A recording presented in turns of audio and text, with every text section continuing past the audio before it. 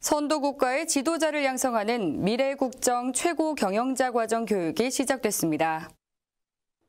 미래국정 최고 경영자 과정 교육이 시작됐습니다. 세종로 국제포럼이 주최하는 미래국정 최고 경영자 과정 교육은 11월 18일부터 내년 3월까지 이어집니다.